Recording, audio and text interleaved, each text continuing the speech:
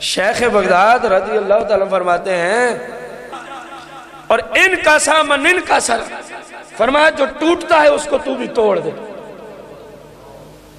جو اس لیے تجھ سے ناراض ہوتا ہے کہ تو اللہ کی فرما برداری والا کام کیوں کر رہا ہے؟ تو نے یہاں اللہ کی نافرمانی کیوں نہیں کی؟ میں اس لیے سائڈ پہ ہوں، فرمایا اس کو کہے بھائی تو سائڈ پہ ہی رہے ہے پیاری نصیحت کے نہیں؟ اگر کسی مسلمان کی زندگی کا یہ قانون بن جائے نا، یقین جانے، وہ وہی بن جائے گا جو شیخ عبد القادر جلانی اس کو بنانا چاہتے ہیں۔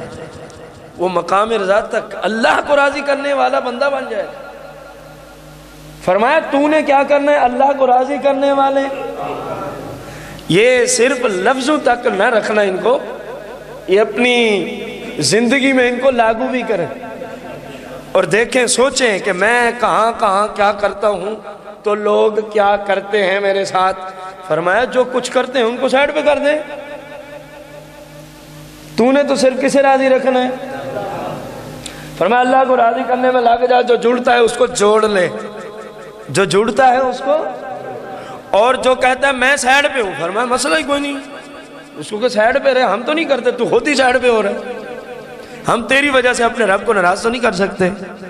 ہم تیری وجہ سے اپنے رب کی مخالفت تو ہم مسلمان ہیں۔ مسلمان اور رب کی مخالفت ناممکن بات ہے۔ لیکن جب آپ اپنی زندگی میں سوچیں گے نا، پوری زندگی کی بات میں نہیں کرتا۔ جو ہو گیا اللہ سے معافی مانگ لیں آج سے سوچنا شروع کر دیں، انشاءاللہ اب تک وہ طہارت کی منازل طے کرنا شروع کر دیں گے۔ آج سے شروع کر دیں۔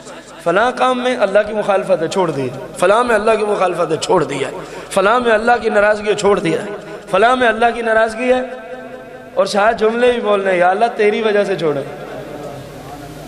تیری وجہ سے؟ پھر دیکھ تو صحیح، رب کیسے اپنی برکات کے اور اپنے رموز و اسرار کے خزانے تیرے اوپر کھولتا ہے۔ لیکن ہماری عادت بن چکی ہے کہ ہم صرف سننے تک محدود ہو گئے۔